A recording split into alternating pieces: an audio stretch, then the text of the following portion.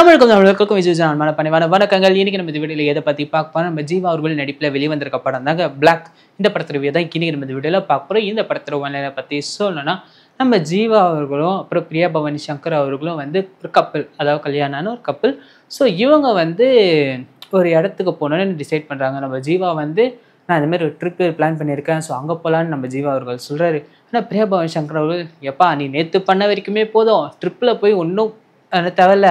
So எதுவாக இருந்தாலும் இங்கேயே பண்ணிக்கலாம் அப்படின்னு வந்து நம்ம பிரியா பவன் சங்கர் அவர்கள் சொல்கிறாங்க ஸோ வேறு வழியே இல்லாமல் நம்ம ஜீவா அவர்களும் ஒரு இடத்த வந்து புக் பண்ணுறாரு ஸோ அங்கே போய் பார்த்தாங்கன்னா நம்ம ஜீவா அவர்கள் தான் அந்த இடத்துல வந்து ஃபஸ்ட் டைம் தங்குறாரு. ஸோ அதனால் வந்து அங்கே இருக்க அந்த அந்த வீட்டுக்கு சொந்தக்காரர்கள் அப்படின்னு சொல்லலாம். ஸோ அவங்க வந்து இந்த மாதிரி விசிட் பண்ணி நம்ம ஜீவா அவர்கள்கிட்ட சொல்கிறாங்க நீங்கள் தான் இந்த இடத்துக்கு ஃபஸ்ட்டு விசிட் பண்ணியிருக்கீங்க ஸோ அதனால் சந்தோஷமாக இருங்க. உங்களுக்கு ஏதாவது ஒரு பிரச்சனைனா வாட்ச்மேன் பார்த்துப்பாரு. கரண்ட் போச்சுன்னா ஜென்ரேட்டர் நம்ம வாட்ச்மேன் ஆன் பண்ணுற ஸோ இந்த நீங்கள் எந்த ஒரு பிரச்சனையும் இல்லாமல் இருங்க. ஏதாவது உங்களுக்கு தேவைன்னா கால் பண்ணுங்கள் நாங்கள் எல்லாத்துக்கும் இது பண்ணுறோம் சொல்லி அவங்க சொல்லிட்டு போகிறாங்க ஸோ போனதுக்கப்புறம் நம்ம ஜீவா பர்ச்சேஸ்லாம் முடிச்சுட்டு நைட்டு வந்து தங்குறாருங்க.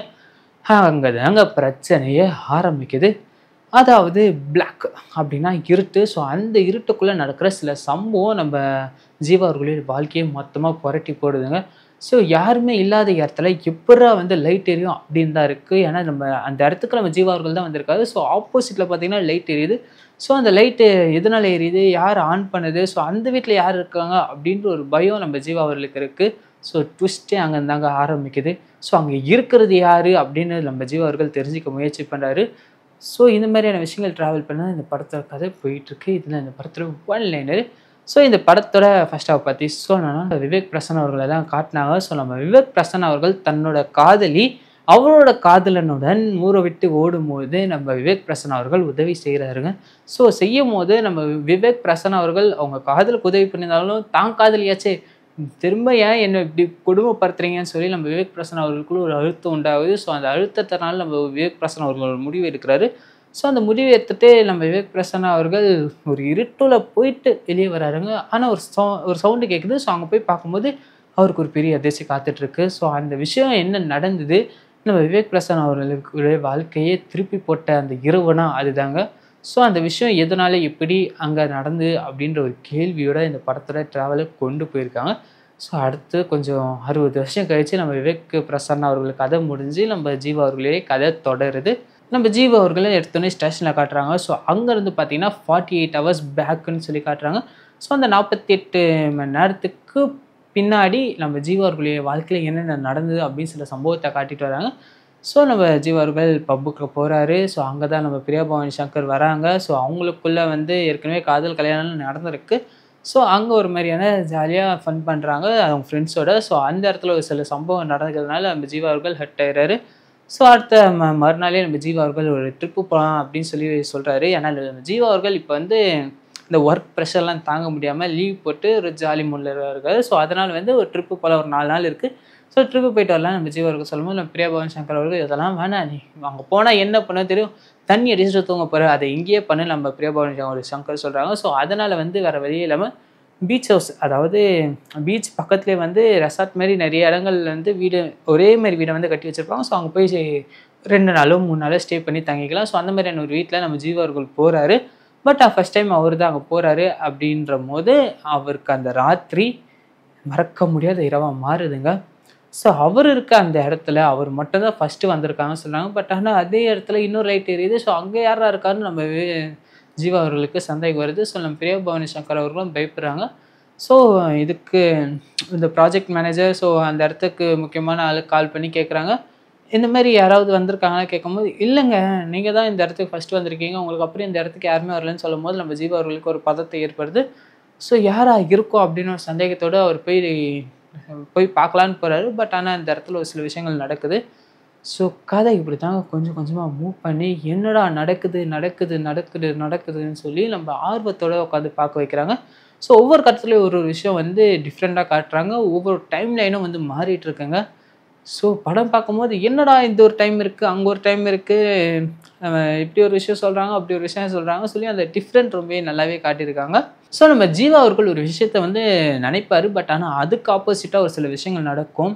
ஸோ அந்த பிளாக் அப்படின்னா ஒரு பிளாக் கலரில் ஒரு விஷயம் நடக்குதுங்க. ஸோ அதில் ட்ராவல் பண்ணும்போது ஒரு சில விஷயங்கள் மாறும். நம்ம ஜீவா அவர்களுக்கும் அந்த மாதிரி ஒரு சம்பவம் தான் நடக்குது. அந்த பிளாக்குக்கும் இங்கே நடக்கிற விஷயத்துக்கும் நம்ம ஜீவா அவர்களுக்கும் என்ன சம்பந்தம் அப்படின்னு ஒரு கன்ஃபியூஷனில் இருக்கும்போது ஃபர்ஸ்ட் ஆஃப் முடிஞ்சு செகண்ட் ஆஃப் போகும்போது நம்ம ஜீவா அவர்கள் இன்னும் பரத்தம் ஆகிடுவாருங்க ஏன்னா அவருடைய மனைவி காணாமல் போயிடுவாங்க. என்னடா நடக்குது இங்கே அப்படின்ற கொடுமை தான் இருக்கும். நம்ம ஜீவா மனைவி காணாமல் போனதுக்கப்புறம் போலீஸ் ஸ்டேஷன்லேருந்து கூட்டு வந்து போலீஸ் வந்து நம்ம ஜீவா அவர்களை கொத்தா தூக்கிட்டு போயிடுவாங்க. அங்கே வச்சு விசாரிக்கும் போது நம்ம ஜீவா அவர்கள் இதுக்கு மேலே ஒரு வெளியில் நம்ம தான் தான் பொண்டாட்டியை கண்டுபிடிச்சி ஆகணும்னு சொல்லி அங்கே ஒரு பிரச்சனை உண்டாக்கிட்டு அங்கேருந்து கிளம்பி அவர் பொண்டாட்டியை காப்பாற்றுறதுக்காக வருவாருங்க. ஸோ அந்த இடத்துல நம்ம விவேக் பிரசன் அவர்களை சந்திக்கிற மாதிரியான ஒரு கட்டாயம் ஏற்படுது. ஸோ நம்ம விவேக் பிரசன் அவர்களை சந்தித்ததுக்கப்புறம் அவருக்கு முன்னாடி என்ன நடந்தது அப்படின்ற வந்து விளக்கமாக வந்து இப்படி போட்டு வளர்க்குறாரு நம்ம விவேக் பிரசன் அவர்கள். அதுக்கப்புறம் தான் நம்ம ஜீவா அவர்களுக்கு அங்கே என்ன நடக்குது இதனால் இது வந்து நடக்குதுன்ற ஒரு விஷயம் நம்ம ஜீவா அவர்களுக்கு தெரிய வருது. ஸோ அவர் ஃபேஸ் பண்ணுற விஷயமே வேறு ஒன்றுன்னு தெரிய வரும்போது நம்ம ஜீவா அவர்கள் அதுக்கான முயற்சி எடுக்கிறாரு. தான் பொண்டாட்டி காணாமல் போயிட்டாங்க பட் ஆனால் அவங்களை எப்படி கண்டுபிடிக்கணுன்ற விஷயம் தெரிஞ்சு பட் ஆனால் அந்த கண்டுபிடிக்கிற ஒரு ரிஸ்க் இருக்குது அந்த ரிஸ்க்கு நம்ம எடுத்தால் தான் தான் பொண்டாட்டியை காப்பாற்ற முடியும்.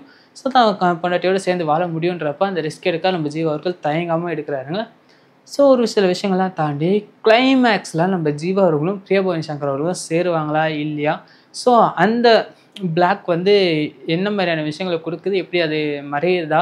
ஸோ இந்த மாதிரியான விஷயங்கள்லாம் கொடுத்து இந்த படத்தை டோட்டலாக வேற மாதிரி கொண்டு போயிருக்காங்க. ஸோ கதை சொல்லவே கொஞ்சம் குழப்பமாக தான் இருக்கும். பட் ஆனால் பார்க்கும்போது தெளிவாக புரியுற மாதிரி இந்த கதையை எடுத்திருக்காங்க. இது வந்து ஹாலிவுட் சப்ஜெக்ட்னால கொஞ்சம் புரியாத மாதிரி தான் இருக்கும்.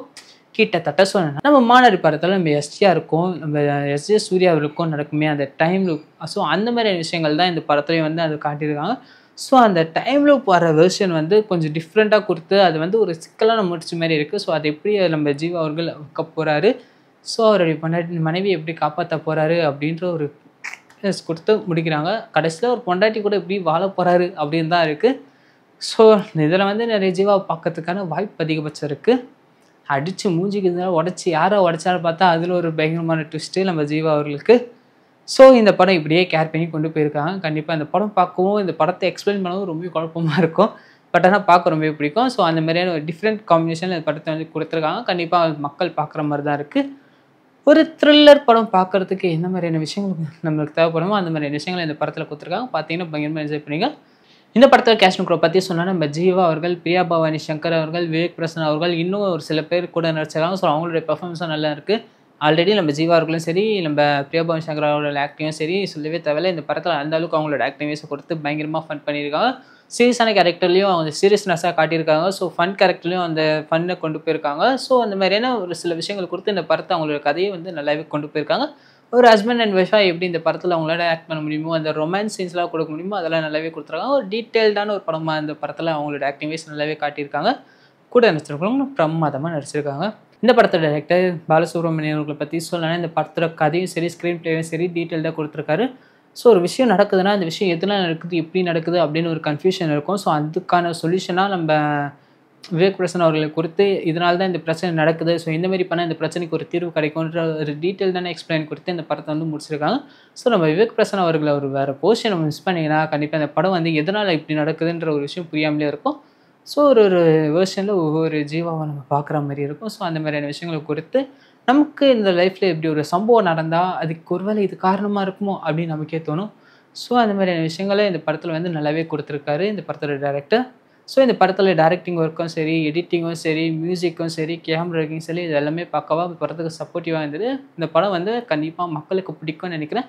இது எனக்கு ரொம்பவே பிடிச்சதுங்க. ஸோ இந்த படம் பார்த்து இந்த ரிவ்யூ பார்த்துட்டு இந்த படம் பார்க்க போகிறீங்க இல்லை படம் பார்த்துட்டு வந்துட்டீங்க? நம்ம ரிவ்யூ பார்த்துட்டு எப்படா இருக்குது அப்படின்னு நீங்கள் என் வயலை கேட்கணும்னு ஆசைப்பட்றீங்க அப்படின்னா ஸோ உங்களுக்கு இந்த படம் எப்படி இருந்தது? இந்த படம் ரிவ்யூ பார்த்துட்டு இந்த படம் பார்க்க போகிறீங்கன்னா ஸோ போய் பார்த்துட்டு வந்து சொல்லுங்கள் உங்களுக்கு படம் எப்படி இருந்தது அப்படின்னு வந்து நம்ம கமெண்ட் பாக்ஸில் கமெண்ட் பண்ணுங்கள் இந்த வீடியோ உங்களுக்கு பிடிச்சா லைக் பண்ணி ஷேர் பண்ணுங்கள் மாற சப்ஸ்கிரைப் பண்ணுங்கள் கூட பார்த்து பில்லைக்கான ப்ரெஸ் பண்ணுங்கள்